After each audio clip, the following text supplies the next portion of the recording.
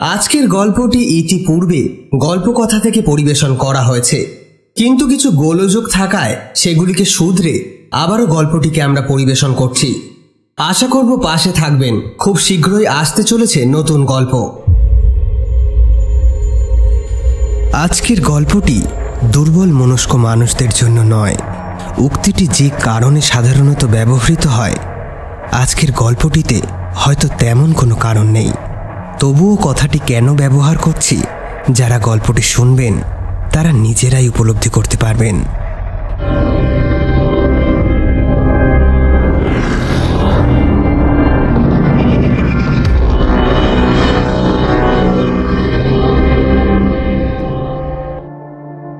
নমস্কার, আমি অয়ন।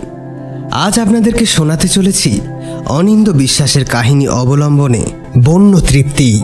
লেখক নদিয়া জেলার বগুলার বাসিন্দা। বর্তমানে তিনি আশুতোষ কলেজের বায়োকেমিস্ট্রি বিভাগের প্রথম বর্ষের ছাত্র। চলুন তবে আজকের গল্প শুরু করা যাক। গল্পে বাবার চরিত্রে শুভদীপ, আপার ক্লাসের স্টুডেন্টের ভূমিকায় অতনু, পাড়ার লোকেদের চরিত্রে দিব্যেন্দু এবং দেবাশিস, প্রিন্সিপাল এবং গল্প পাঠে আমি অয়ন। শুরু হতে চলেছে আজকের গল্প, বন্য তৃপ্তি।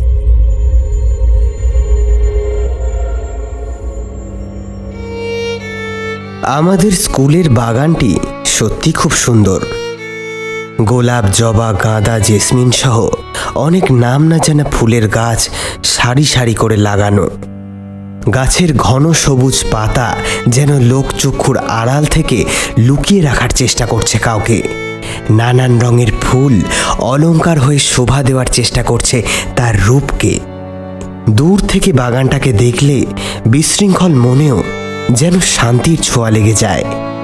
কিন্তু বাগানটাকে দেখলেই যেন আমার হৃদয়ের এক গহীন প্রান্ত থেকে এক আদিম আতঙ্ক হুঙ্কার দিয়ে ওঠে। ফাঁস লাগানো দড়ি দেখে সদ্য মৃত্যুদণ্ডপ্রাপ্ত আসামির মনে যেমন এক বন্য আতঙ্কের সৃষ্টি হয়, তেমনি এক ভয়ের সৃষ্টি হয় আমার মনে। কারণ প্রতিদিন ওখানে ওরা জোর করে টেনে নিয়ে যায় আমাকে।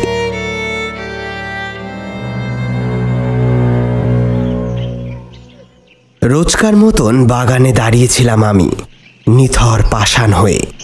পেছন থেকে কি যেন শক্ত হাতের বেষ্টনীতে ধরে রেখেছে আমার হাত। আর একটা মুষ্টিবদ্ধ হাত যেন অগ্নিস্ফুলিঙ্গ ছাড়তে ছাড়তে এগিয়ে আসছে আমার চোয়াল লক্ষ্য করে।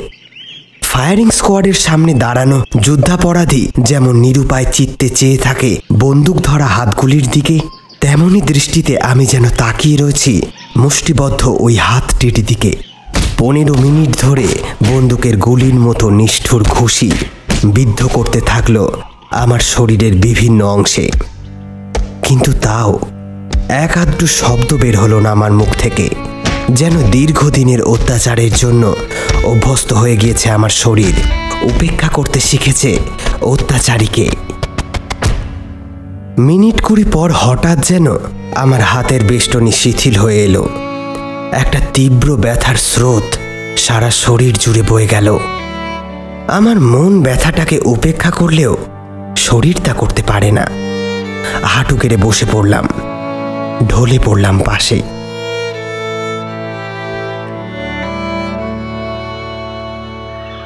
উঁচু ক্লাসের ছেলেটি আমার পাজরে লাথি মেরে বলল কি জন্তু রে তুই? হ্যাঁ?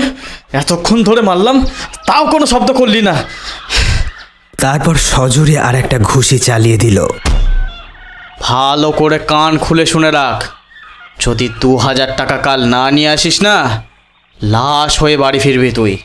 এই বলে ও পা চালালো বাগানের বাইরের দিকে। বাগানের মধ্যে নিথর হয়ে শুয়ে রইলাম আমি। যুদ্ধ বিধ্বস্ত উপত্যকায় শুয়ে থাকা মৃত সৈনিক যেন। শুভজিৎ মালি আর তার কানা মেয়ে সুভদ্রার পূর্বের সেই পরিচর্যার অভাবে ঝোপগুলো যেন অত্যাধিকভাবে বেড়ে উঠেছে। তারাই আড়াল করে রেখেছে আমাকে। দূরের ওই রাস্তার মানুষগুলির দৃষ্টির সীমা থেকে। শূন্য চোখে আকাশের দিকে চেয়েছিলাম আমি। মেঘের আড়ালে সূর্য যেন মাঝে মাঝে আমার দৃষ্টিকে ম্রিয়মান করে তুলছিল। মনের গভীর থেকে ভেসে উঠছিল অনেক ভাবনা। কিন্তু ক্রোধ বা রাগের কোনো জায়গা ছিল না তাতে। এমনকি ছিল না কষ্টেরও। সেই ভাবনায় শুধু জায়গা ছিল কিছু প্রশ্নের। কেন আমি? কেন আমাকেই ওরা পেল? ক্লাসে তো ছেলেদের কোনো অভাব নেই। কোথায় ভুল করেছিলাম আমি যে ওরা আমাকে এইভাবে ধরল? এই ধরনের আরও অনেক প্রশ্ন ছিল আমার ভাগ্যের কাছেও। বাগানের মধ্যে আরও কিছুক্ষণ শুয়ে রইলাম আমি।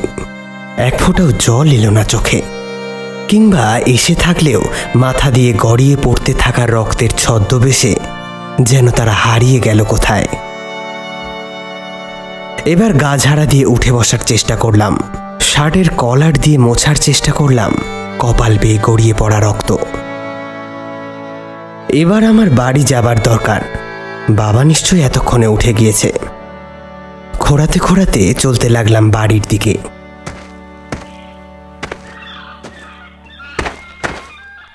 স্কুল থেকে আমার বাড়ি মিনিট চল্লিশ দূরত্বে। অন্যান্য দিন অটো নিলেও আজ অটোর ভাড়া দেবার মতো পয়সা আমার কাছে নেই। হাঁটতে হাঁটতে ভাবতে লাগলাম, সত্যি শেষ কবে অক্ষত অবস্থায় বাড়ি ফিরেছি, আমার মনে পড়ে না। মাস তিনেক আগে হবে হয়তো। ওরা আঘাত করার সময় ইচ্ছাকৃতভাবে আমার চোখ নাক মুখ উপেক্ষা করে। যাতে এমন কোনো ক্ষতি না হয় যা অন্যের দৃষ্টিকে আকর্ষণ করতে পারে। তাও কি ওরা সফল হয়? শরীরের বিভিন্ন অর্ধ উন্মুক্ত জায়গা দিয়ে কালশিটেগুলো ঠিক উকি দেয়। বাড়ির পথে একটা ওভারব্রিজ পড়ে। পুরো শহরের ওটাই আমার সব থেকে প্রিয় জায়গা। ওভারব্রিজের থেকে বেশ খানিকটা দূরে একটা শর্টকাট রাস্তা থাকায় ব্রিজটা কেউ ব্যবহার করে না। নিচেই আছে একটি স্টেশন। স্টেশনটিতে কোনো ট্রেন দাঁড়ায় না বলে আশেপাশের জায়গার মধ্যে কেবল একটি চায়ের দোকান ছাড়া আর কোনো দোকান নেই। ফলত জায়গাটা বেশিরভাগ সময় নির্জন থাকে। প্রতিদিন স্কুল শেষে এই ওভারব্রিজের নির্জনতায় গা ঢাকা দিয়ে বসে থাকি আমি। ব্রিজটিও যেন লোকচক্ষুর থেকে আমাকে আড়াল করে রাখে। আর একটা কারণে এই জায়গাটি আমার খুবই ভালো লাগে। স্কুল ছুটির ঘণ্টাখানেকের মধ্যেই এই ওভারব্রিজের নিচে দিয়ে একটা ট্রেন যায়। প্রায় দিনই ওভারব্রিজ থেকে আমি তাকিয়ে থাকি আগমনরত সেই ট্রেনের দিকে। ট্রেনটা এক ঝাঁক ঠান্ডা বাতাস সাথে করে নিয়ে আসে। বাতাসের ঝাপটা আমার মুখে লাগতেই যেন সকল চিন্তা স্তব্ধ হয়ে যায় আমার।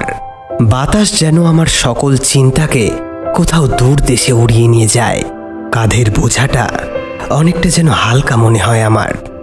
তৎক্ষণাৎ একটা ইচ্ছা জেগে ওঠে মনে। কেউ যেন কানে ফিসফিস করে বলে, কি হলো? দেরি করছ কেন? লাফিয়ে পড়ো ওটার উপরে। বাতাসের ঝাপটার মতো হারিয়ে যাবে তোমার সকল দুঃখ। লাফিয়ে পড়ো। লাফিয়ে পড়ো বলছি। দিন দিন যেন ইচ্ছেটাকে দমিয়ে রাখা আরও কষ্টকর হয়ে যাচ্ছে আমার পক্ষে।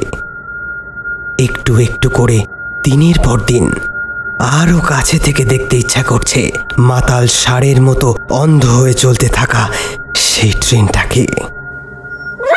তবে প্রতিদিনের মতোই আমার পায়ের কাছে এসে শব্দ করে প্রাণীটা। ফলে আমার ভাবনা চিন্তায় ছন্দপতন ঘটে। এই ওভারব্রিজে লুকাতে একমাত্র আমিই আসি না। আসে ওই কুকুরটাও। একই রকমভাবে প্রতিদিন আমার পায়ের কাছে বসে আদর আর খাবার পাবার আশায় কুই কুই করে সে। প্রাণীটাকে দেখে কেমন যেন মায়া হয় আমার। ওভারব্রিজের নিচের চায়ের দোকানটায় একদিন শুনেছিলাম, ওর মাও নাকি এই ট্রেনটার নিচে কাটা পড়েছিল। হয়তো সেই মা হারাবার দুঃখে ওভারব্রিজের উপরে ও কাঁদতে আসে। আমিও প্রথম দিন এখানে কাঁদতেই এসেছিলাম। কিন্তু বর্তমানে বুক ফেটে গেলেও চোখ দিয়ে এক ফোঁটা জল বের হয় না, যেন আমার অজান্তেই সকল প্রতিকূলতায় অভ্যস্ত হয়ে গিয়েছে আমার মন। আমি প্রতিদিনই আমার টিফিনের কিছু অংশ বাঁচিয়ে রাখতাম ওর জন্য। ও খুব তৃপ্তি করে খেত, আজও তাই খেলো। ওই খাবার সময় আমি ওর মাথায় হাত বুলিয়ে দিতাম। তৃপ্তিতেও চোখ বুঝত ওর মধ্যে যেন আমি নিজের প্রতিচ্ছবিকে দেখতে পেতাম। শূন্য দৃষ্টিতে তাকিয়ে যেন সহ্য করে চলেছে সকল বর্বরতা। প্রতিদিনের মতো একটা তেতো মাদকের গন্ধ ভেসে আসে আমার নাকে। কেমন যেন একটা বন্য হিংস্রতায় পূর্ণ হয়ে ওঠে আমার মন। আদর করতে থাকা হাতটা যেন নিষ্পিস করতে থাকে। সর্বশক্তিতে ওর গলাটা চেপে ধরতে ইচ্ছা করে। যত দিন যায়, এই ইচ্ছাটাকেও কিছুতেই যেন দমিয়ে রাখতে পারি না আমি। ওর কৃতজ্ঞপূর্ণ চোখের দৃষ্টি আমার মধ্যের সমস্ত ক্রোধকে যেন এক লহমায় ঠান্ডা করে দেয়।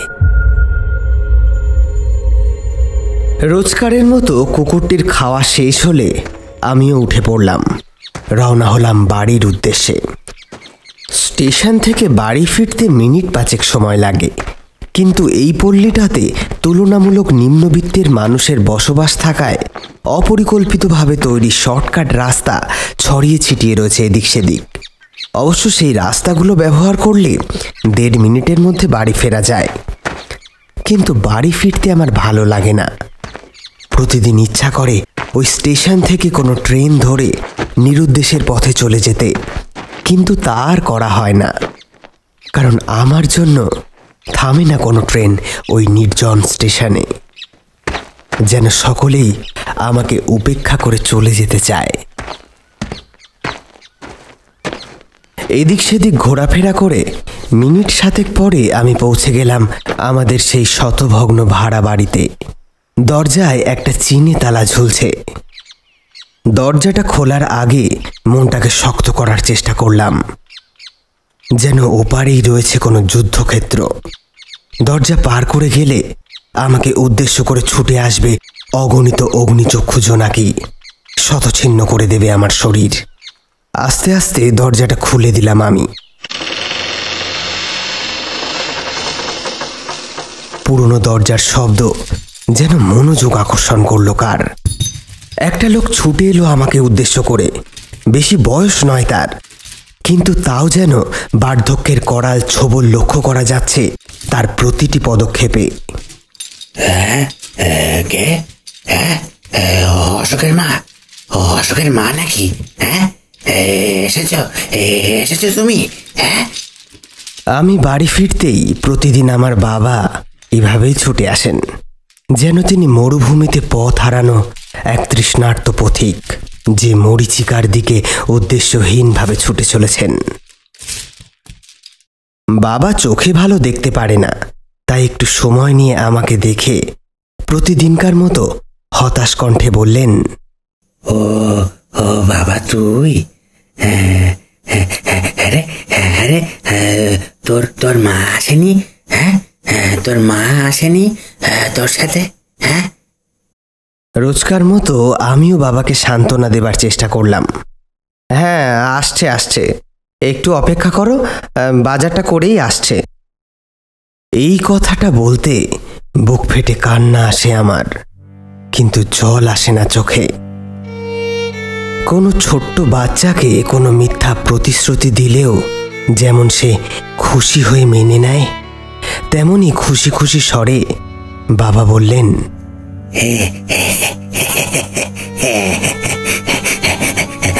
তোর মার কাছে হ্যাঁ, বায়না করবি হ্যাঁ ভালো ভালো ভালো কিছু রান্না করতে হ্যাঁ হ্যাঁ, কতদিন খাই না আমরা একসাথে বল বল বল।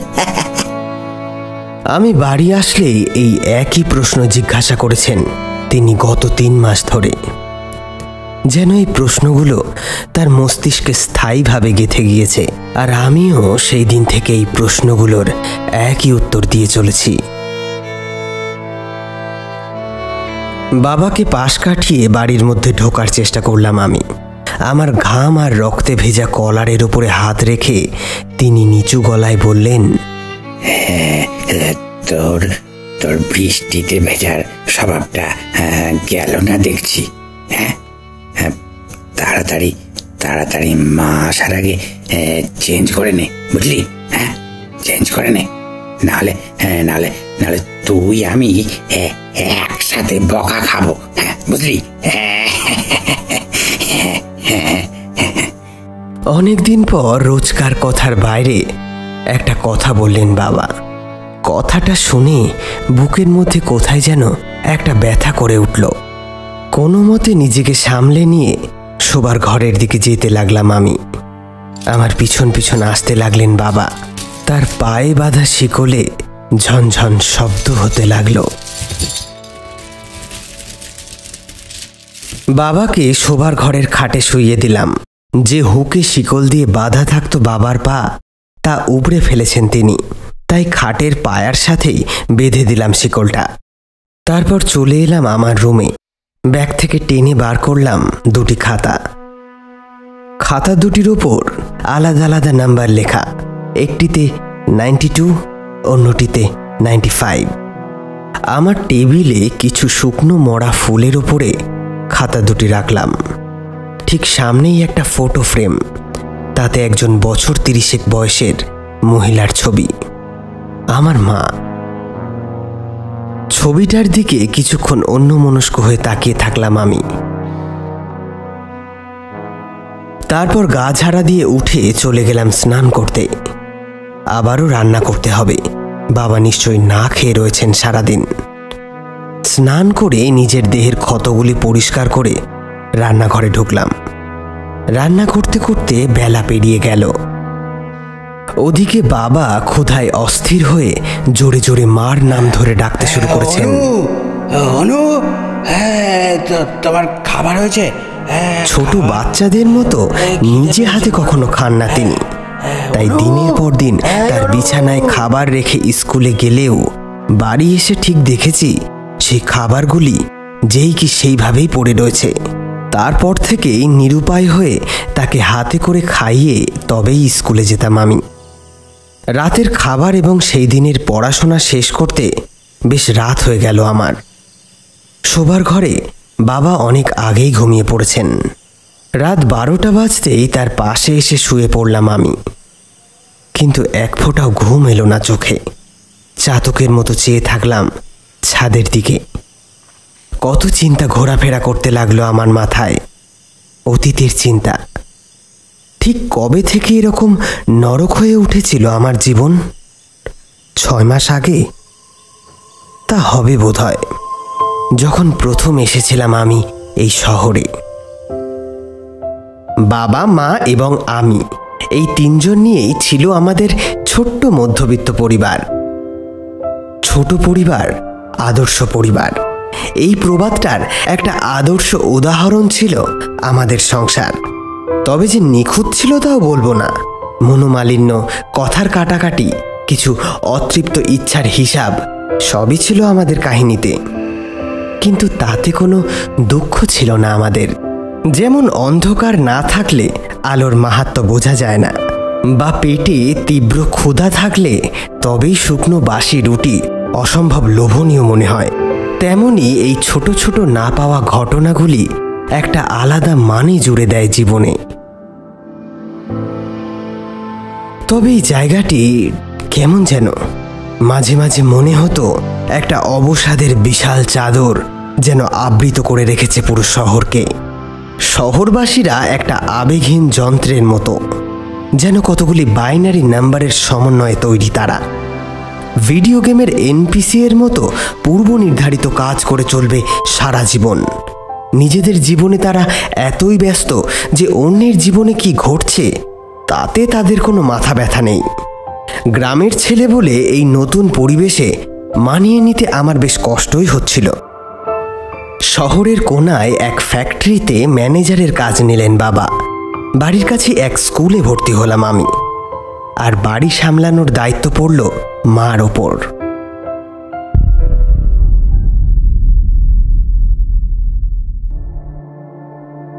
তবে স্কুলে কোনোভাবেই মানিয়ে নিতে পারলাম না। স্কুল স্কুলের ছেলেমেয়েরা যেন একটু বেশি আধুনিক আমার থেকে। তাদের মতো ফ্যাশন সেন্স, নানান চলতি ঘটনায় আসর জমানোর ক্ষমতা এগুলির কোনোটিই আমার ছিল না। তাছাড়া তাদের মতো বিশুদ্ধ ইংরেজিতেও কথা বলতে পারতাম না আমি। স্মার্ট ওয়াচের যুগে আমি যেন দেওয়ালে ঝুলে থাকা এক গ্র্যান্ডফাদার ক্লক ছিলাম।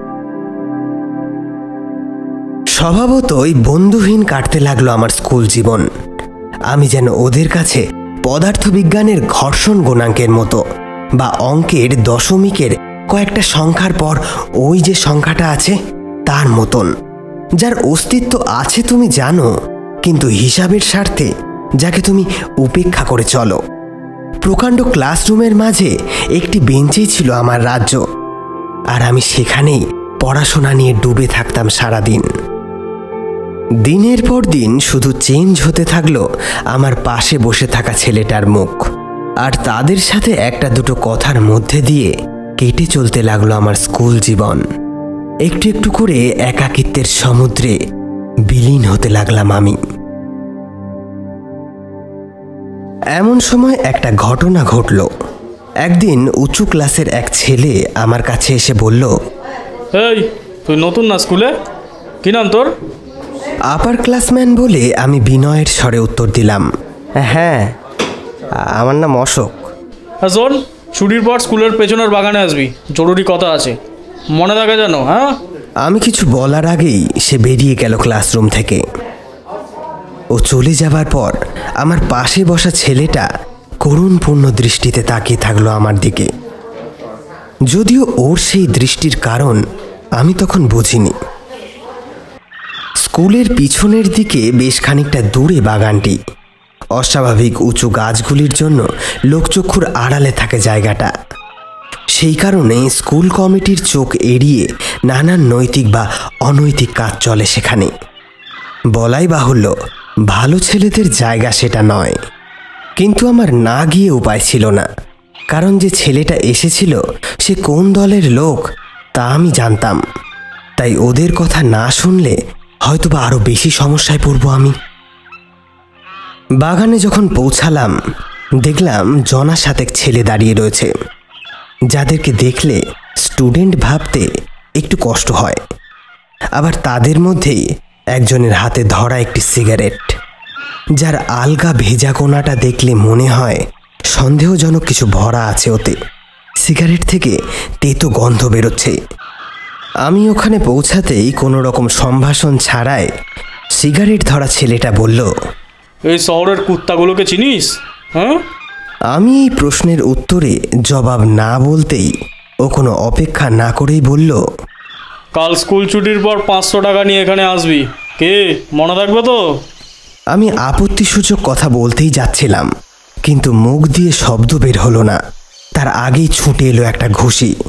আমি ব্যথায় কুকিয়ে উঠে শুয়ে পড়লাম মাটিতে। সে আমার ওপর ঝুঁকে পড়ে বলল এই শোন এই স্কুলের কুত্তা আমি যদি স্কুলে থাকতে চাস ভালোয় ভালোয় যা বলছি তাই কর। নইলে না ছিঁড়ে কুটি কুটি করে ফেলব বলে দিলাম। বাগানের দিকে পিট করে বেরিয়ে যেতে থাকা অবয়বগুলোকে দেখে অনেক রাগ হচ্ছিল আমার। আবার একটু ভয়ও হচ্ছিল।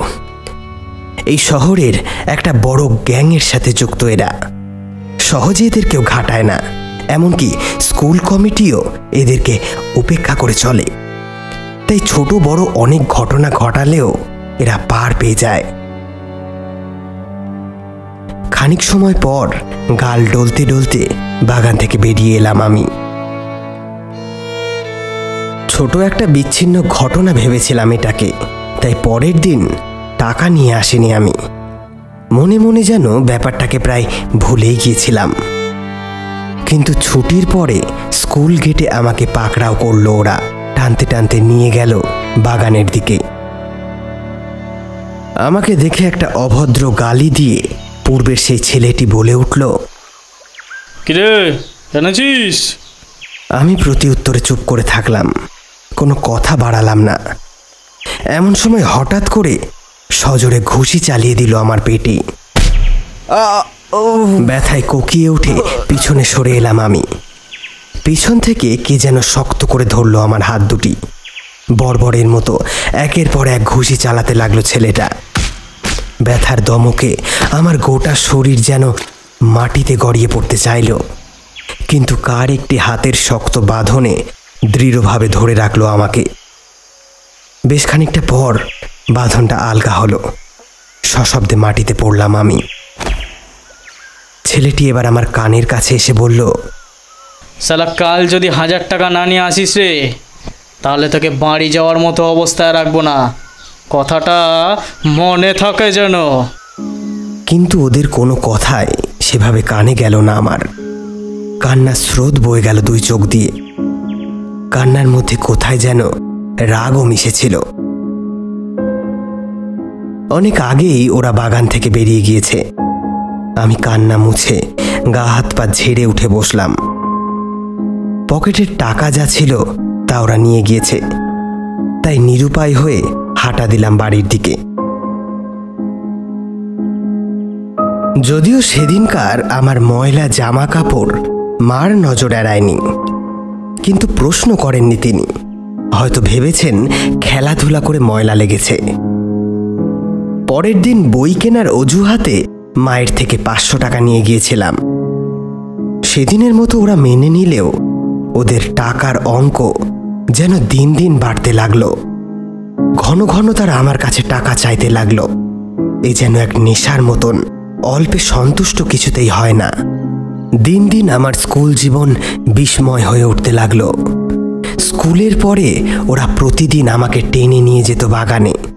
যেন পাহাড়ি সিংহ নিজের গুহায় শিকার নিয়ে যাচ্ছে তাকে ছিন্ন ভিন্ন করার জন্য। মানুষ খুবই স্বার্থপর জীব।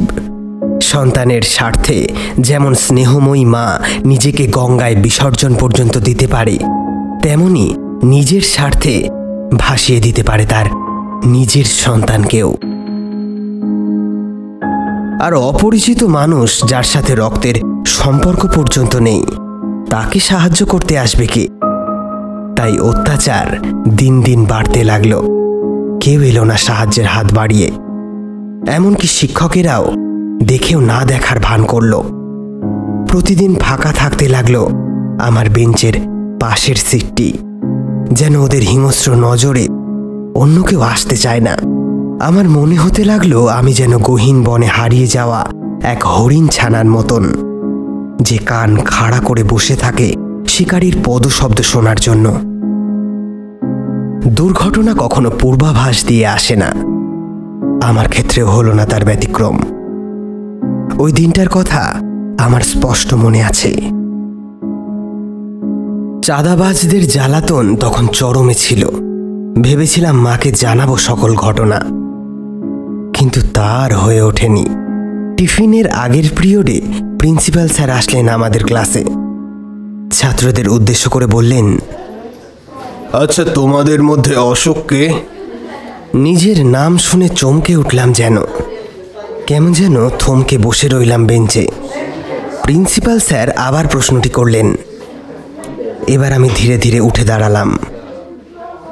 স্যার আমাকে উদ্দেশ্য করে বললেন তাড়াতাড়ি একটু আমার অফিসে এসো। জরুরি কথা আছে। আমিও স্যারের পিছন পিছন অফিসের উদ্দেশ্যে চললাম। নিজের চেয়ারে বসে একটু ইতস্তত করে স্যার বললেন অশোক তোমাদের বাড়িতে একটা দুর্ঘটনা ঘটে গিয়েছে। তোমার বাবাই মাত্র আমাকে ফোন করেছিলেন। তুমি একবার স্টেট হাসপাতালে যাও। আর শোনো তোমার বাবা তোমাকে মন শক্ত করতে বলেছেন। স্যারের কথায় যেন পৃথিবী ভেঙে পড়ল আমার ওপরে। কোনোভাবেই নিজেকে শান্ত করতে পারলাম না। এদিকে তিনি সান্ত্বনাসূচক কথা বলতে শুরু করেছেন। কিন্তু আমার দুই কান যেন তখন তালা মেরে গিয়েছে। কোনো কিছুই আর কানে ঢুকছে না। আমি ধীর পায়ে বেরিয়ে এলাম অফিস রুম থেকে। বাইরে আসতেই একটু চিন্তা স্থির হলো। তৎক্ষণাৎ আমি ছুটলাম হসপিটালের উদ্দেশ্যে। আমার বাড়ির দিকে স্টেট হাসপাতাল। রোজকার মতো আজও আমার পকেটে টাকা ছিল না। জানোয়ারগুলো সব আগেই নিয়ে নিয়েছে। তাই শর্টকাট নেবার চেষ্টা করলাম তখনই। সেই দিনই আমি প্রথমবার দেখেছিলাম নির্জন ওভারব্রিজটা। হাসপাতালে যখন পৌঁছালাম, রিসেপশন হলে এসে আমি থমকে গেলাম। চোখে কপালে ব্যান্ডেজ লাগিয়ে বসে রয়েছেন আমার বাবা। কোনো কথা নেই তার মুখে। জীবন যুদ্ধে সর্বহারা, নিস্তব্ধ সৈনিক যেন তিনি। আমি কাছে গিয়ে জিজ্ঞাসা করলাম, বাবা, মা কোথায়? কোনো উত্তর দিলেন না তিনি, যেন আমার কথাটা কানেই যায়নি। এমন সময় একজন ওয়ার্ড বয় এলো আমার কাছে, নিঃশব্দে আঙুল তুলে একটা রুমের দিকে দেখাল। ঘরটির বাইরে বড় বড় হরফে লেখা, বার্নিং ইউনিট ওয়ান এক মুহূর্তে আবার যেন থমকে গেল আমার সকল চিন্তা শক্তি। আমি ভাবলেশহীন, নির্জীব জীবের মতো এগিয়ে গেলাম ঘরের মধ্যে। একটা সাদা চাদরে মুখ লুকিয়ে কেউ যেন শুয়ে আছে ওখানে। চাদরের ফাঁক দিয়ে বেরিয়ে এসেছে একটা আলতা পড়া পায়ের অংশ। আলতার এই নকশাটা আমি চিনি। আজ সকালে আমি তো এঁকে দিয়েছিলাম। কিন্তু নকশাটি পুরো অক্ষত নেই। খানিকটা ওপরে গিয়েই কয়লার মতো কালো হয়ে গিয়েছে যেন অসম্ভব নিষ্ঠুরতায় কেউ সেটি পুড়িয়ে দিয়েছে। ওয়ার্ড বয় আমাকে ধরে বাইরে নিয়ে এলেন। জোর করে বসিয়ে দিলেন নিস্তব্ধ বাবার পাশে। কিছু যেন ভাবতে পারলাম না আমি। সব কিছু যেন গভীর রাতের এক দুঃস্বপ্ন বলে মনে হলো। মনে হতে লাগল এই তো এ এখনই ঘুম ভাঙবে। মা বিছানার কাছে এসে বলবেন আরে ওট ওট বেলা হয়ে গেল তো। রুটি করা আছে খেয়ে স্কুলে চলে যা। সেই ঘুম কখনোই ভাঙল না। কতক্ষণ বসেছিলাম জানি না। একসময় উঠে বেরিয়ে এলাম হাসপাতাল থেকে। হয়তো নিরুদ্দেশের পথেই চলে যেতাম, কিন্তু পা আমাকে টেনে নিয়ে চলল ওই ওভারব্রিজটার দিকে। পথে আগুনে পুড়ে রাখ হয়ে যাওয়া বাড়িটার দিকে আমার নজরই পড়ল না। নির্জন ওভারব্রিজটা সেই সময় ঠিক নির্জন ছিল না। তখন তার নিচে চলছে চায়ের আসর। সেখানকার লোকেদের মধ্যে চলছে এক উত্তেজিত আলোচনা। আগুনে পোড়া একটা বাড়ির আলোচনা। দুই নম্বর রাস্তায় আগুন লেগেছিল জানিস নাকি? কোন একটা বউ আবার পুড়ে মরেছে রে তাতে। আহা খারাপ লাগল রে খুব। হ্যাঁ ওখানে আমিও ছিলাম তখন। স্বামীটাকে তো আমরাই বাঁচালাম। বউটা নাকি পুরো কাঠ কয়লা হয়ে গেছে। হ্যাঁ মনে হয় ওখানেই পুড়ে মরেছে বুঝলি? হাসপাতালে নেবারও সময় পায়নি রে। আর স্বামীটার কি অবস্থা? উফ বাবারে। চোখে যেন দেখা যায় না এমন দৃশ্য। স্বামীটার চোখ আর কপাল পুড়ে গেছে। দেখতে পাবে কিনা জানি না কিন্তু খারাপ লাগছে বড্ড স্বামীটার জন্য। বেচারা স্ত্রী শুধু চিৎকারটুকুই শুনতে পেয়েছে শেষ দেখাটা দেখেনি। তাদের কথোপকথন আরও অনেকক্ষণ ধরেই হয়তো চলেছিল কিন্তু আমার কানে আর কিছুই ঢোকেনি। আমি উঠে এলাম ওভারব্রিজের ওপরে ফুপিয়ে ফুপিয়ে কাঁদতে শুরু করলাম।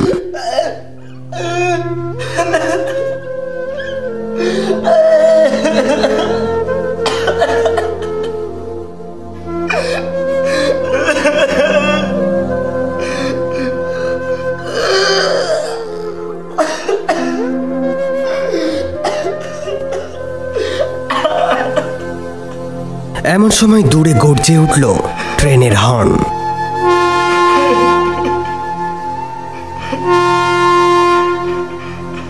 প্রলয়ের পূর্বাভাসের মতো এগিয়ে আসছে সে। সেই আওয়াজে আশ্রয় খুঁজে নিলাম আমি। গলা ফাটিয়ে চিৎকার করে কাঁদতে লাগলাম। ট্রেনের ভয়ঙ্কর গর্জনে ধীরে ধীরে চাপা পড়তে লাগল আমার বুক ফাটা আর্তনাদ।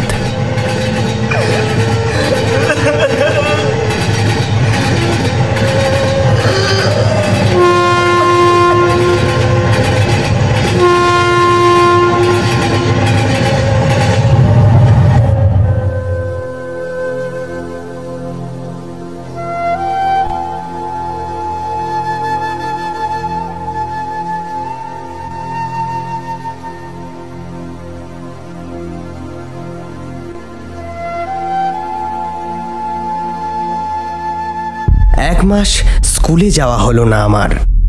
পোড়া বাড়ির পাশেই একটা ভাঙা বাড়িতে এক প্রতিবেশী আশ্রয় দিয়েছিলেন। যদিও বিনামূল্যে নয়। ধীরে ধীরে বাবা কেমন যেন হয়ে গেলেন। এক সপ্তাহ প্রায় কথাই বললেন না আমার সাথে। শুধু আবেগহীন চোখে তাকিয়ে থাকতেন দেয়ালের দিকে।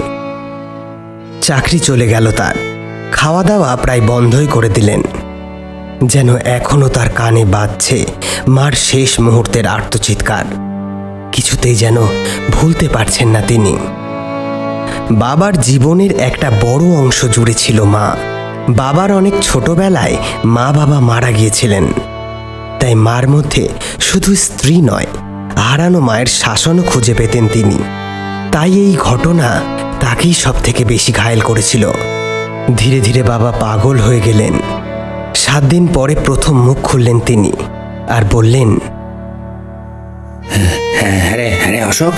হ্যাঁ, বলছি হ্যাঁ, তোর মা বাড়ি ফিরেছে বাজার থেকে? বাচ্চাদের মতো পাগলামি শুরু করলেন। একই প্রশ্ন বারবার করতে লাগলেন।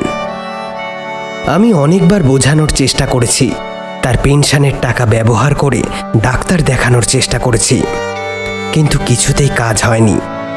অন্যদিকে, তার পাগলামি ক্রমেই বেড়েছে। একদিন পাড়ার দোকানে গিয়ে তিনি ভাঙচুর করেছিলেন। অগত্যা নিরুপায় হয়ে শিকল দিয়ে বেঁধে রাখতে হয়েছে তাকে। বাবা বেসরকারি কোম্পানিতে কাজ করতেন। তাই দিন দিন কমতে লাগল পেনশনের অঙ্কটাও। তাই আমার পক্ষে চিকিৎসা চালানো আর সম্ভব হয়ে উঠল না। বাবাকে জড়িয়ে ধরে কত কেঁদেছি। কিন্তু তাও ফেরেনি সেই পুরনো মানুষটা, যেন স্বজন হারানোর শোক থেকে বাঁচতে এক অন্য চরিত্রে অভিনয় করছেন তিনি। এইভাবে দিন কাটতে লাগল আমার। স্কুলের শারীরিক এবং মানসিক নির্যাতনে কেমন যেন অবশ হয়ে আসতে লাগল আমার সকল আবেগ। মাঝে মাঝে মনে হয়েছে, এভাবে বেঁচে থেকে লাভ নেই। কিন্তু বাবার দিকে তাকিয়ে কিছুই করতে পারিনি। দায়িত্বের বোঝা যেন আমাকে দিন দিন পিষে দিতে লাগল। এভাবে কাটলো চার মাস। আমার খোলসের মধ্যে আমি একটু একটু করে যেন মরতে লাগলাম। সবসময় পাগল পাগল মনে হয় নিজেকে। মনে হয় কোনো এক অদৃশ্য শ্রোতা যেন শুনছে আমার কাহিনী। প্রতিদিন রাতে এক শ্রোতার কাছে যেন আমি বলছি, আমার সকল ব্যথার বৃত্তান্ত। কখনো মনে মনে বা কখনো সশব্দে, কখনো বা গোপনে, আবার কখনো বা অনেক মানুষের সামনে। সেই শ্রোতাও যেন মন দিয়ে শুনে চলেছে আমার কাহিনী। এই সমস্ত কিছু ভাবতে ভাবতে কখন জানি ঘুমিয়ে পড়েছিলাম। রাতে ঘুম না হলেও প্রতিদিনকার মতো কাক ভরে ঘুম ভাঙলো আমার। বাবা অনেক বেলা অবধি ঘুমান, তাই তাকে জোর করে উঠিয়ে খাওয়াবার চেষ্টা করলাম। কিন্তু কোনো নির্বোধ অবুধ শিশু যেমন ভাতের থালায় উপাদেয় খাবার না দেখতে পেয়ে মুখ ফুলিয়ে বসে থাকে, তেমনি তিনিও বসে রইলেন। এদিকে আমার স্কুলের সময় হয়ে আসছে, তাই নিরুপায় হয়ে তাকে একবার বাথরুম করিয়ে এনে আবার খাটে শুইয়ে দিলাম। পায়ের সাথে বাঁধা শিকলটা শক্ত করে বেঁধে দিলাম খাটের পায়ার সাথে। মাথার কাছে খাবারের থালাটা রেখে বললাম, বাবা দয়া করে খাবারটা খেয়ে নিও। যদি তুমি আমি আসার আগে থালাটা খালি করে ফেলো, তবে আমি মার কাছে ভালো কিছু রান্না করে দেবার জন্য আবদার করতে পারি। আমার কথা শুনে হাসি ফুটে উঠল বাবার মুখে। শিশু সুলভ স্বরে তিনি বললেন, ঠিক আছে হ্যাঁ ঠিক আছে ঠিক আছে। আর তোর মাকে মাকে বলবি? চিংড়ি মাছ নিয়ে আসতে। হ্যাঁ হ্যাঁ চিংড়ি মাছ। হ্যাঁ, হ্যাঁ, সে তো চিংড়ি মাছ রান্না করতে গিয়ে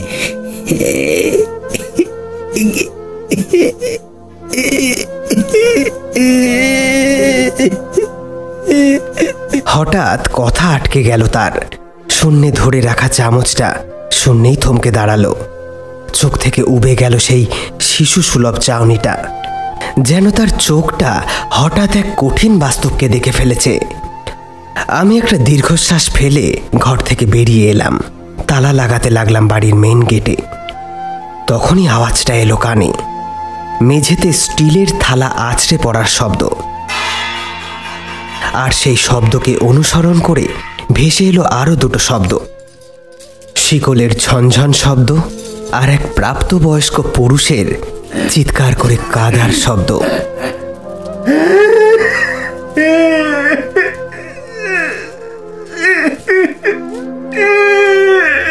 কিন্তু এই হৃদয় বিদারী শব্দও গলাতে পারল না আমার হৃদয়ে জমে থাকা অনুভূতিগুলিকে। প্রতিদিন এই ঘটনাগুলি দেখে সেগুলি যেন জমে বরফ হয়ে গিয়েছে। শব্দটাকে উপেক্ষা করে এগিয়ে চললাম স্কুলের দিকে। আবার এক ঝাঁক চিন্তা ভরে উঠল মনে। সত্যিই তো, শেষ কবে চিংড়ি মাছের মালাইকারি খেয়েছে সে? মা খুব ভালোই মালাইকারি রান্না করতে পারতেন। দুর্ঘটনার দিনও এই রান্নাটাই নাকি করছিলেন তিনি। মাকে পোড়ানোর পর ওই ধ্বংসস্তূপে আমি ফিরে গিয়েছিলাম। ভেবেছিলাম হয়তো কোনো স্মৃতি বেঁচে আছে তার, কিন্তু তেমন কিছুই ছিল না। কেবলমাত্র একটি ছবি আর একটা কড়াই বাদে। কড়াইটিতে ছিল আধ পোড়া কতগুলি চিংড়ি। এই সমস্ত কিছু ভাবতে ভাবতে মিনিট কুড়ি পরে স্কুলে পৌঁছে গেলাম আমি। বাড়ির নরক থেকে বাঁচতে প্রতিদিন আমার স্কুলে আসা। ক্লাসের ওই ফাঁকা বেঞ্চটা আমাকে এক ঝাঁক নির্জনতা উপহার দেয়। ওই বেঞ্চে বইয়ে মুখ গুজে বসে থাকতে আমার বেশ ভালোই লাগে। কিন্তু আমার এই স্বর্গরাজ্য বেশিক্ষণ স্থায়ী থাকে না। টিফিন বেলের আওয়াজ যেন যুদ্ধের আগমনী বার্তা হয়ে ছুটে আসে আমার কানে। ইদানিং স্কুল ছুটির সময় ওরা আসে না। টিফিন টাইমেই চলে আসে এবং আমাকে টেনে নিয়ে যায় সেই মৃত্যু বাগানে। যেন শিকারের জন্য ওরা আর স্কুল ছুটি পর্যন্ত অপেক্ষা করতে পারছে না। আমার মনে হয় এই স্কুলটা যেন এক বনের মতো, আর সেই বনের ফুড চেনের অংশ তারা। এই খাদ্য শৃঙ্খলের সবচেয়ে নিচে আমি, আর সব থেকে ওপরে ওরা। বাঘের মুখে হরিণ ছানার ঘাড় যেমন দেখতে স্বাভাবিক লাগে, তেমনি কি ওদের পায়ের নিচে আমাকে দেখতে স্বাভাবিক লাগে? আচ্ছা মাঝে মাঝে তো হরিণ ছানাও চেষ্টা করে বাঘের বিরুদ্ধে রুখে দাঁড়াবার। কিন্তু আমি কি কখনো চেষ্টা করেছি? না, কোনোদিনও চেষ্টা করতে পারিনি। চিরকালে মুখ বুঝে সহ্য করেছি সবকিছু।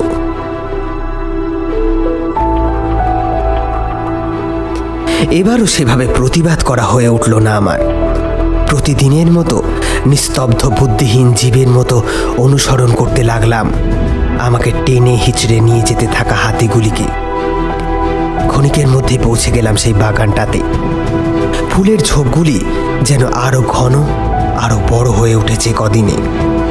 এমন সময় একটা পরিচিত তীব্র তেতো গন্ধ এলো নাকে।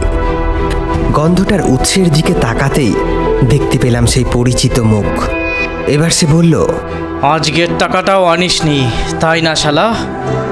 আমি সম্মতি জানাতে মাথা নাড়াতেই যাচ্ছিলাম কিন্তু তখনই এক ঘুষি এসে লাগল আমার চোয়ালে। নিঃশব্দে পড়ে গেলাম ঘাস জমিতে। এলোপাথারি লাথি চলতে লাগল। একজনের পায়ের নয় অনেকজনের। যেন দলের সাথে শিকার ভাগ করে নিচ্ছে নেতা। এত কিছু নিঃশব্দে সহ্য করে চলেছি আমি আর তাকিয়ে রয়েছি অনতি দূরেই পড়ে থাকা একটা তেতো গন্ধের সিগারেটের দিকে। আবারও ছেলেটি রাগত স্বরে বলল শব্দ কর শালা যতক্ষণ না শব্দ করবি ততক্ষণ পিসবো তোকে। আমি জানি এই কথাগুলির কোনো ভিত্তি নেই। কই আগে তো কতই কাঁদতাম। কিন্তু তবুও কি ওদের নিষ্ঠুরতা কমেছে? বরঞ্চ দিন দিন বাঁধন ছাড়া গতিতে বেড়েছে সেটা। আগে ওরা মুখ চোখ এড়িয়ে যেত, কিন্তু এখন আর তা করে না। তাই অনেক আঘাতের চিহ্ন হয়তো ফুটে উঠত আমার মুখ জুড়ে। পরদিন ছাত্ররা আর চোখে উকি মারত আমার দিকে। স্যারেরা দেখেও যেন না দেখার ভান করতেন। আমি মনে মনে এবার ঠিক করে নিয়েছিলাম। যাই হয়ে যাক, হেড স্যারকে এবার নালিশ করবই। পরের দিন স্কুলে গিয়ে হেড স্যারকে সমস্ত কাহিনী বললাম। শার্ট খুলে কালশিটেগুলো দেখালাম। আমার প্রতি তিনি সহমর্মী ছিলেন, তাই বিপদের আশঙ্কা জেনেও ছেলেটাকে সাসপেন্ড করলেন তিনি। এই কয়েক মাসে এই প্রথম আনন্দের স্বাদ পেলাম। এরপর থেকে টানা তিন দিন মৃত্যু বাগানে কেউ আর টেনে নিয়ে গেল না আমাকে। আমার উথাল পাথাল ভরা জীবনে এই নিস্তব্ধতা কেমন যেন বেমানান মনে হচ্ছিল। তীব্র ঝড়ের আগে নিস্তব্ধ আকাশের মতো এই নিস্তব্ধতা সত্যিই আমি খুব উপভোগ করছিলাম। দিন পাঁচেক বেশ কাটলো আমার। শার্টের আড়ালের ঘাগুলিও শুকিয়ে এসেছে প্রায়। এমন সময় একদিন পুনরায় ঝড় এলো আমার জীবনে। নাক পাশে আটকে থাকা ইঁদুরের মতো আমাকে জাপটে ধরল ওরা। স্কুল গেটের সামনে ফেলেই বেধড়ক পিটালো। আমি সংজ্ঞা হারালাম। যখন জ্ঞান ফিরল, তখন দেখলাম স্কুলের ইনফার্মারিতে শুয়ে রয়েছি। ব্যান্ডেজ বাঁধা রয়েছে মাথায়। মার খাওয়াটা যেন স্বাভাবিক হয়ে গিয়েছে আমার জন্য। এমনকি স্কুলের নার্সও প্রশ্ন করা প্রায় ছেড়েই দিয়েছে। সেদিন কাউকে কিছু না বলেই বেরিয়ে এলাম স্কুল থেকে। চলে গেলাম সেই ওভারব্রিজটার দিকে। জীবন যুদ্ধে সর্বহারা পথিকের মতো টলতে টলতে এসে পড়লাম সেই ব্রিজটাতে। ওপরে গিয়ে বসলাম। বৃষ্টির সময় নয়, তাও কালো মেঘে ঢেকে আছে গোটা আকাশ। প্রতিবারের মতো সেই বাচ্চা কুকুরটাও এসেছে আজ। আমার মতো আজ সেও ক্ষতবিক্ষত। হয়তো বড় কোনো কুকুর কামড়ে ধরেছিল ওকে। আমি ওকে খেতে দিলাম। প্রাণীটি মাথা নিচু করে খাওয়ায় মনোনিবেশ করল। আমি ওর মাথায় হাত বুলিয়ে দিতে লাগলাম। সারা দিনের যুদ্ধের পর এতটুকু খাবারই যেন সে পেয়েছে। তাই খুব তৃপ্তি ভরে সশব্দে খাচ্ছিল সে। আমারই এক অন্য রূপ যেন সে। মুখ বুঝে সবকিছু সহ্য করে চলেছে। প্রতিবাদ করছে না কোনো কিছুরই। আচ্ছা সত্যি কি সে প্রতিবাদ করবে না? ধরবো নাকি ওর গলাটা চেপে? দেখি তো নিজের জীবন বাঁচাতে সজোরে কামড়ে ধরে কিনা আমার হাতটা। এইরকম অনেক চিন্তা ঘুরছিল আমার মাথায়, আর হাতটা আদর করে চলছিল ওকে। হঠাৎ এক ঝাঁক বাতাস ছাড়লো চারদিকে। বাতাসের সাথে ছুটে এলো সেই তেতো গন্ধটা।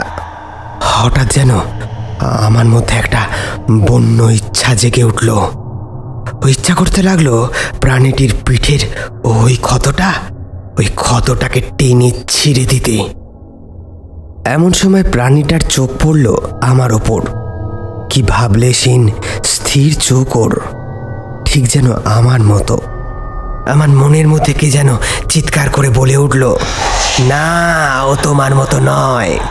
তুমি চাইলেই এখানেই ওকে শেষ করে দিতে পারো। দেরি করছ কেন তাহলে? শক্ত হাতের বেষ্টনীতে চেপে ধরো ওর গলা। চেপে ধরো বলছি। অদ্ভুত কিছু অনুভূতির রংধনু খেলে গেল আমার মনে। মুখের কথায় সেই অনুভূতিটাকে ব্যাখ্যা করা বেশ কষ্ট। কিন্তু এই কষ্টের কথা আমি কাকে ব্যাখ্যা করছি? কই, আশেপাশে কেউ নেই তো?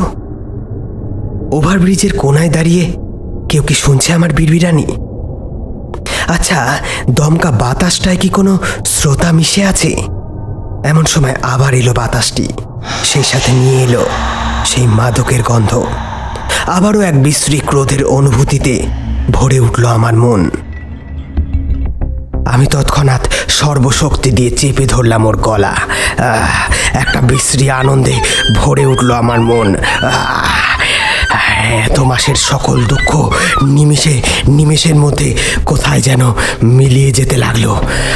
আমার গালের এক কোণ থেকে আর এক কোণ পর্যন্ত একটা নিঃশব্দ হাসি ফুটে উঠতে লাগল। এই প্রথম এই প্রথম আমি আবিষ্কার করলাম। খাদ্য শৃঙ্খলের সবচেয়ে ওপরে আমি পৃথিবীতে সকলের স্থান আমার নিচে। চাইলেই সকলকে আমি পায়ের নিচে পিষে ফেলতে পারি। কুকুরটা যেন বিস্ময়ের সাথে তাকিয়ে আছে আমার দিকে। যে হাত এতদিন তাকে ভালোবাসা দিয়ে এসছে, সেই হাত হঠাৎ আজ এত নিষ্ঠুর হয়ে তার দম বন্ধ করে ধরছে কেন, সেটাই হয়তো ভেবে উঠতে পারছে না। তবে ওর নিরুপায় দৃষ্টি আজ আমার উত্তেজনা কমাতে পারল না।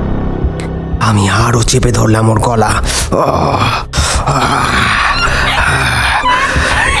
সত্যি, এই অনুভূতিটা যেন অদ্ভুত। এক তীব্র বেআইনি সুরার মতো। যতই খাও, ততই যেন নেশায় ডুবে যেতে হয়।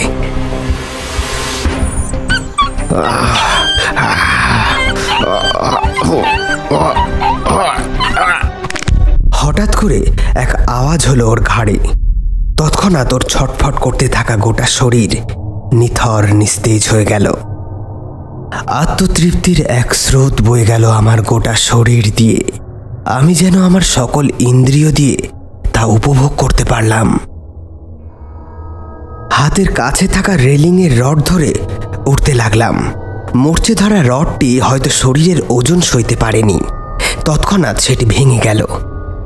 সেই আওয়াজে বিরক্ত একটা ধমক শোনা গেল ওভারব্রিজের নিচের বাথরুম থেকে। কে যেন নেশাসিক্ত গলায় বলে উঠল কোন সালা রে তুই? আজ আওয়াজ করছিস? হ্যাঁ সালা রোজ এখানে এসে একলা একটু নেশা করি তাও করতে দিবি না হ্যাঁ? আওয়াজটা আমার মধ্যে আবারও যেন রক্ত পিপাসা জাগিয়ে দিল। আমি ওভারব্রিজের সিঁড়ি বেয়ে নিঃশব্দে নিচে নামতে লাগলাম। এমন সময় দূরে শোনা গেল ট্রেনের হর্ন। বাথরুমের মধ্যে ঢুকে দেখতে পেলাম আমার স্কুলের সেই ছেলেটাকে, যে আমার এতদিনের দুঃস্বপ্নের কারণ।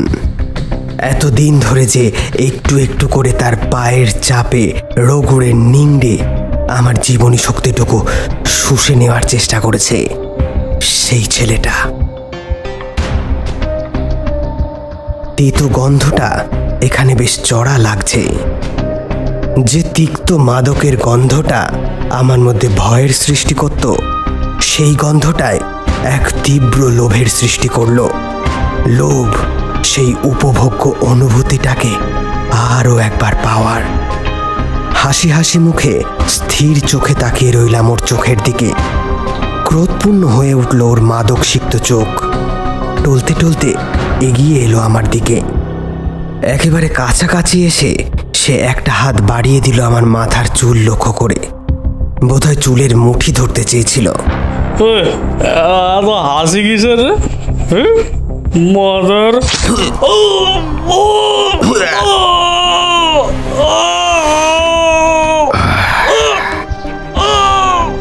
ওর গলায় সজোরে বসিয়ে দিলাম আমার পিঠ পিছে লুকিয়ে রাখা। সেই রডের অংশটা। ভাঙা রডের সুচালো অংশটি যেন গেথে গেল ওর গলায়। চিৎকার করে উঠল কিন্তু ততক্ষণে ট্রেনের আওয়াজে ওর মরণ চিৎকার যেন ঢাকা পড়ে গেল।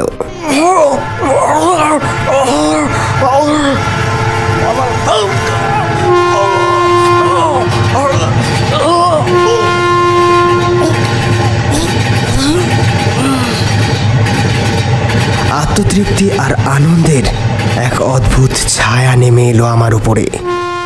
কিন্তু এতেও আমার মন ভরল না।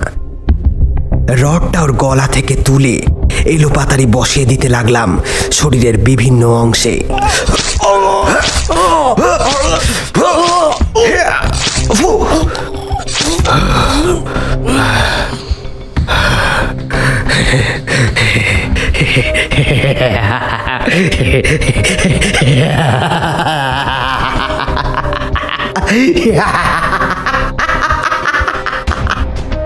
আমার মুখের হাসিটা যেন আরও প্রকট হয়ে উঠছে।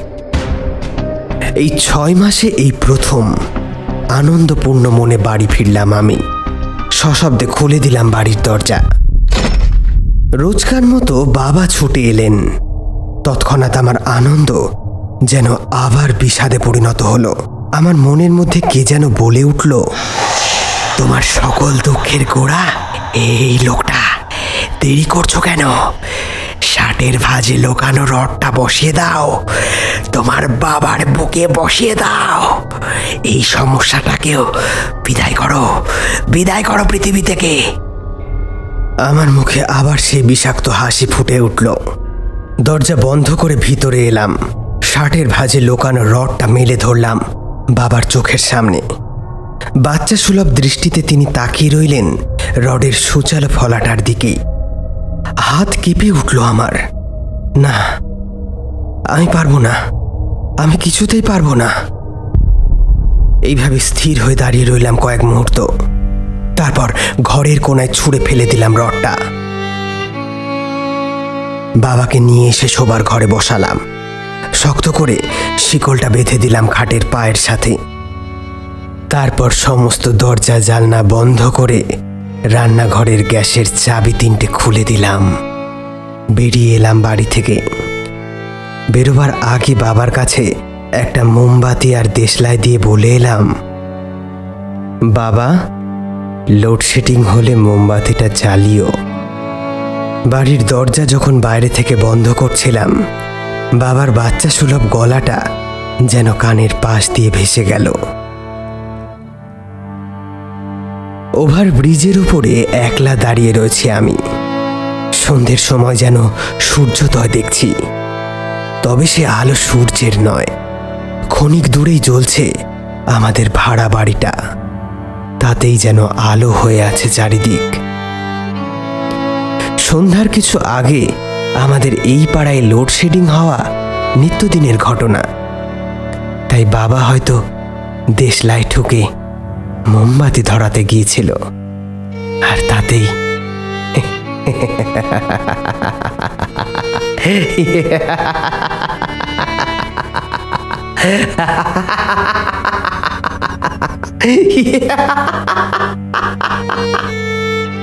তাহলে এবার বাবার ভাগ্য সহযোগিতা করতে পারল না ওনাকে। সত্যি কি তিনি এই ঘটনার পূর্বাভাস পেয়েছিলেন? মা হয়তো পায়নি, কিন্তু ওই ছেলেটার পূর্বাভাস আমি নিশ্চয় পেয়েছিলাম। আমার প্রতিদিন ওভারব্রিজে এসে বসে থাকা, নিচ থেকে আসা তেতো মাদকের গন্ধ আর কুকুরটার ঘাড়ের ওই ক্ষতটার মধ্যে কোথাও হয়তো লুকিয়েছিল ওর পূর্বাভাস। এগুলিই হয়তো আমার বুকে ধিক ধিক করে জ্বলতে থাকা আগুনগুলিকে শক্তি দিয়েছিল লেলিহান শিখায় জ্বলে উঠতে। সেই আগুন এখনও নেভেনি, আরও জ্বালানি চাই তার, চাই আরও শিকার। দুই হাতে আবারও মারতে চাই আমি আমার শিকারগুলিকে আবারও উপভোগ করতে চাই সেই অনুভূতিগুলিকে।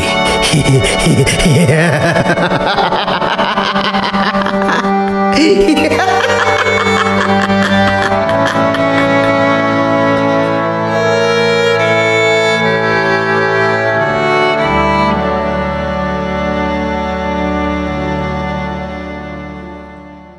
শুনছিলেন অনিন্দ বিশ্বাসের কাহিনী পূর্বাভাস অবলম্বনে বন্য তৃপ্তি। গল্পটি কেমন লাগল কমেন্ট বক্সে জানিয়ে যেতে ভুলবেন না। ভালো লাগলে শেয়ার করবেন, সাবস্ক্রাইব করবেন।